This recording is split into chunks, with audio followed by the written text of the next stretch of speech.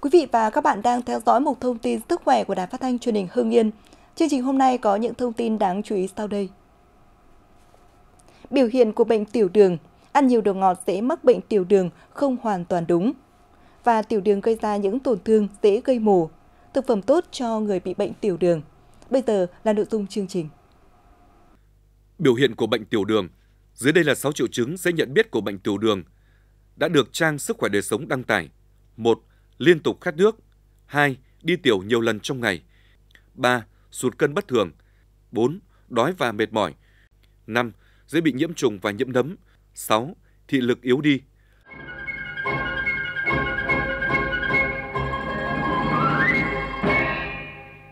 Ăn nhiều đồ ngọt dễ mắc tiểu đường không hoàn toàn đúng. Rất nhiều người nghĩ rằng ăn quá nhiều đường hay thức ăn ngọt sẽ bị tiểu đường, điều này không hoàn toàn đúng. Thông tin trên trang sức khỏe đời sống, người bị bệnh tiểu đường là do cơ thể không sử dụng được đường gluco để tạo năng lượng nên đường tăng cao trong máu, nguyên nhân do di chuyển, ít hoạt động, béo phì. Đối với người khỏe mạnh, khi ăn thức ăn giàu tinh bột sẽ làm đường trong máu tăng cao sau ăn, cơ thể sẽ phản ứng lại bằng cách tiết ra nhiều insulin để đưa đường gluco vào máu và tế bào và luôn giữ lượng đường trong máu ổn định. Khi insulin tiết ra không đủ hay tác dụng insulin bị giảm thì lượng đường trong máu mới tăng cao, gây ra bệnh đái tháo đường. Do vậy đường và đồ ngọt không phải là nguyên nhân chính.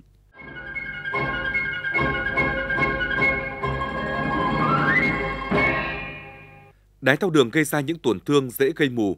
Thông tin trên trang Sức khỏe đời sống. Với đái tháo đường tuyếp 1, võng mạc sẽ bị tổn thương trong vòng 5 năm, phát hiện bệnh. Còn ở đái tháo đường tuyếp 2, võng mạc có thể đã bị tổn thương trước cả khi phát hiện bệnh. Thông thường, dù võng mạc đã tổn thương, nhưng người bệnh đái tháo đường ít cảm nhận được sự thay đổi ở thị lực. Đến khi xuất hiện những triệu chứng rõ ràng như nhìn mờ, tầm nhìn dao động, nhìn hình thấy đốm đen, bệnh đã ở giai đoạn nặng, có biến chứng ở cả hai mắt, việc điều trị rất phức tạp ở phần lớn bệnh nhân sẽ bị mù vĩnh viễn.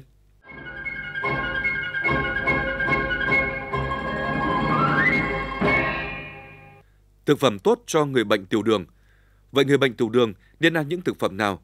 Trang Sức khỏe gia đình cũng đã liệt kê những thực phẩm tốt cho người bệnh tiểu đường dưới đây. Rau xanh và trái cây là những nguồn chất xơ, vitamin và khoáng chất tự nhiên dồi dào, có công dụng thúc đẩy hệ thống miễn dịch cơ thể. Một số loại rau củ như mù tạt xanh, củ cải, cải xoăn, bông cải xanh, rau bina.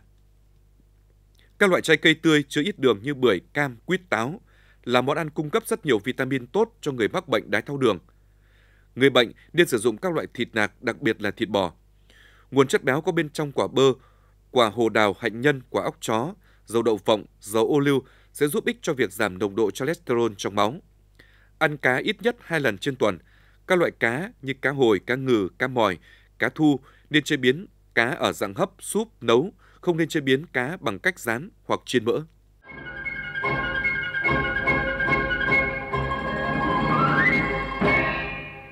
Bốn thời điểm trong ngày được khuyên nên đo lượng đường huyết.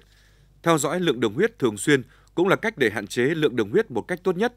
Dưới đây là 4 thời điểm mà Trang Sức khỏe đời sống đã khuyên mọi người nên đo lượng đường huyết của cơ thể. Sáng ngủ dậy, sau khi ăn sáng, ăn trưa, buổi tối trước khi đi ngủ. Nhiều nghiên cứu mới đây cũng chứng minh đường máu sau ăn tăng cao là tác nhân gây những biến chứng bệnh tương đương với lượng đường máu lúc đói.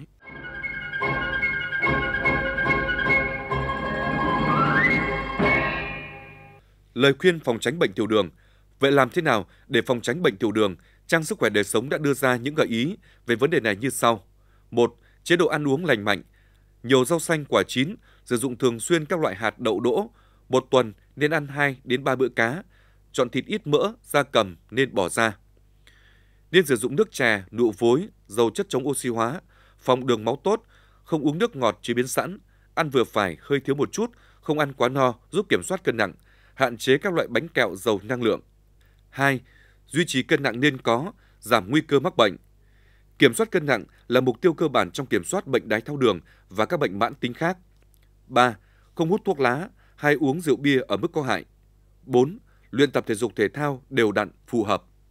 Quý vị và các bạn thân mến, những biểu hiện của bệnh cúm, một số biến chứng nguy hiểm của bệnh cúm và cách chăm sóc trẻ mắc cúm đúng cách tại nhà sẽ là những thông tin hữu ích trong chương trình ngày mai. Mời quý vị và các bạn cùng chú ý theo dõi. Một thông tin sức khỏe ngày hôm nay xin được khép lại tại đây. Thân ái chào tạm biệt.